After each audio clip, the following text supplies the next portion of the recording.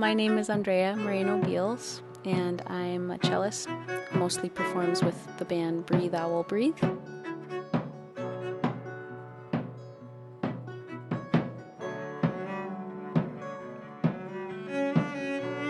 Home base is in East Jordan, not far from Lake Michigan, not far from Sleeping Bear Dunes.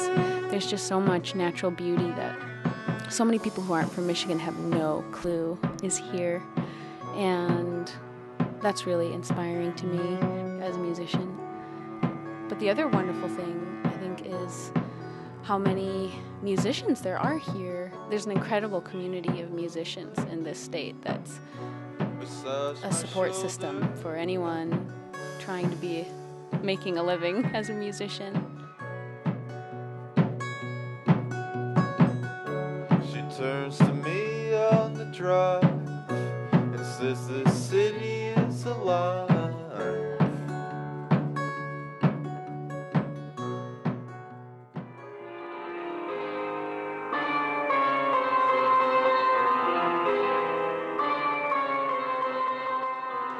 My name is Nia Seelau.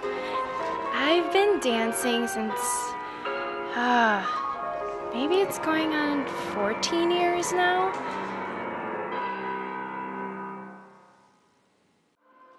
The dance community in Michigan is really tight knit, and I really like that because everybody kind of knows everybody. And once you start to build a reputation here, you gain popularity that way, as opposed to you know moving to a big city such as New York or Chicago, where you're just kind of a nobody in a huge pot of dancers. So I like it here, yeah.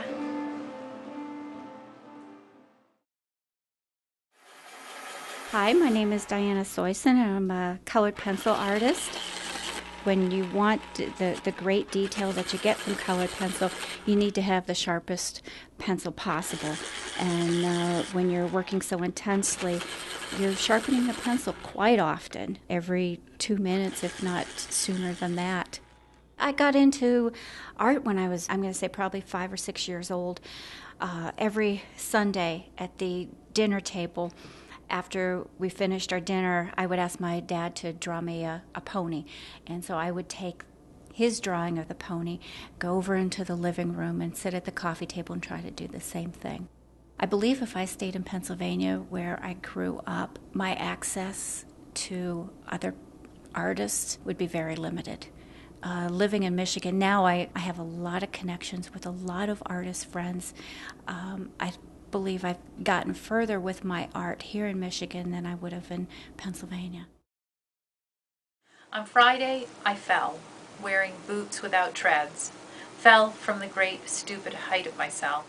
I'm Laura Kasischke, and I'm a writer. I write poetry and novels. I sit in a room alone a lot and and write. So I I think that some of us writers in Michigan might have a fantasy that in New York we'd be at cocktail parties all the time talking about writing, but really I know those writers, and a lot of them are just sitting in a room writing all the time too.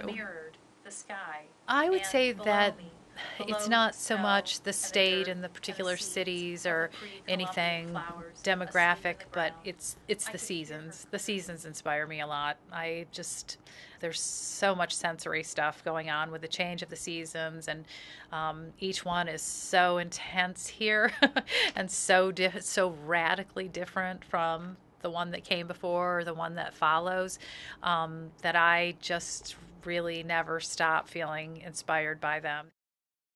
My name's Oren Goldenberg. I'm a filmmaker. I live and work in Detroit, Michigan, in the Cass Corridor. My company's name is Cass Corridor Films. Uh, I love Michigan for many reasons. I can do what I want to do because I don't have to make a lot of money here. And uh, surprisingly, right now, you know, in film, this is a much more worthwhile place to be than anywhere else in the country. Wow. You know, you know, everyone's busy here. We're all, we're all, you know, bidding, and it's a smaller pond here, and I'm a bigger fish. I'm working on a project about the Brewster Douglass homes. To be here and to be able to run a business and pick the projects I want to work on and work on my own independent projects and still eat and live. It's great. I, I don't know where else I could be doing that right now.